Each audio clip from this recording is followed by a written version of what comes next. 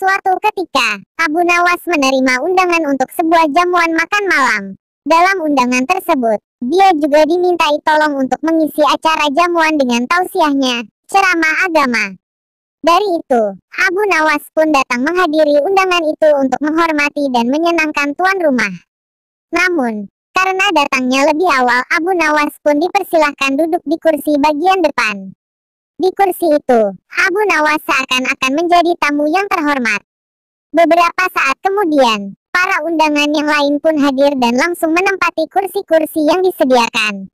Kemudian, menyusul para pejabat kerajaan yang datang dan langsung menuju kursi yang paling depan.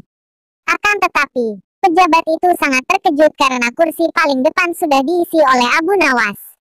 Mendapati kenyataan itu, pejabat tersebut langsung memprotes kepada panitia penyelenggara makan malam dengan keras.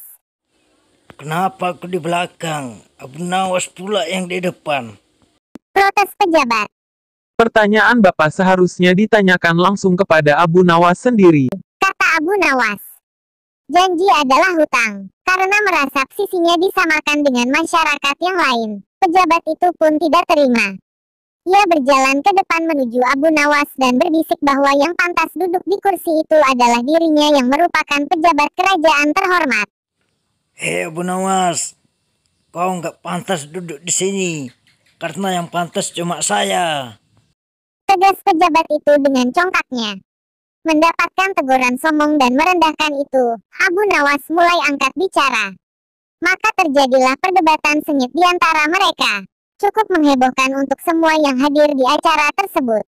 Saudara pejabat yang terhormat, pada kenyataannya Anda itu tidak lebih dari seorang pesulap.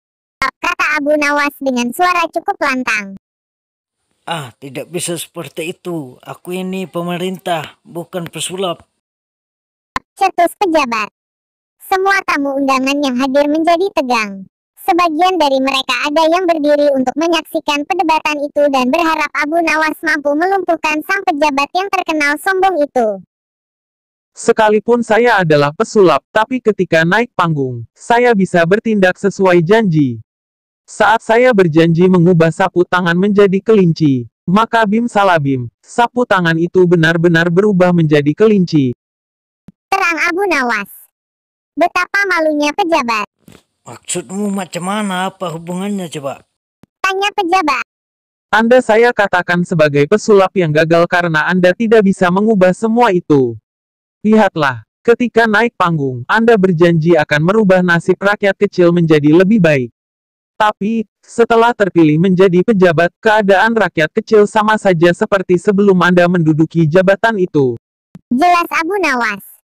Mendapatkan perkataan demikian, pejabat itu hanya bisa diam seribu bahasa dengan perasaan malu banget. Kepalanya pun hanya bisa tertunduk seakan tidak tahan dengan perkataan Abu Nawas yang telah memalukan dirinya di hadapan orang banyak. Nah, kalau begitu, mana yang lebih baik dan lebih pantas duduk di kursi paling depan? Tanya Abu Nawas dengan penuh percaya diri.